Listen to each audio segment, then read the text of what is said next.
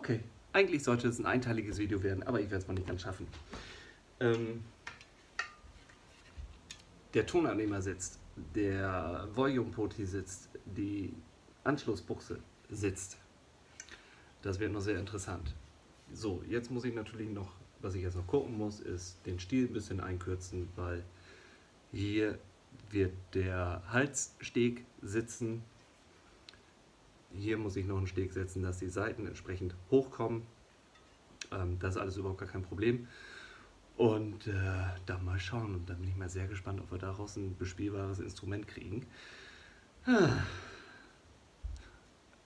Manchmal läuft es nicht so ganz mit, manchmal dauert es ein bisschen länger. Aber der Spaten sieht soweit schon mal ganz gut aus. Und ich bin echt gespannt, ob wir hier raus, ob ich hier raus ein bespielbares Instrument kriege.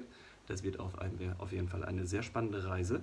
Ich mache jetzt erstmal Feierabend und dann geht es in den nächsten Tagen weiter. Wir sind noch lange nicht am Ende und das wird sehr, sehr spannend. Ähm, ja, seid gespannt. Es wird noch sehr interessant. Feierabend, bis zum nächsten Mal. Macht's gut, euer Onkel Jan. Tschüss.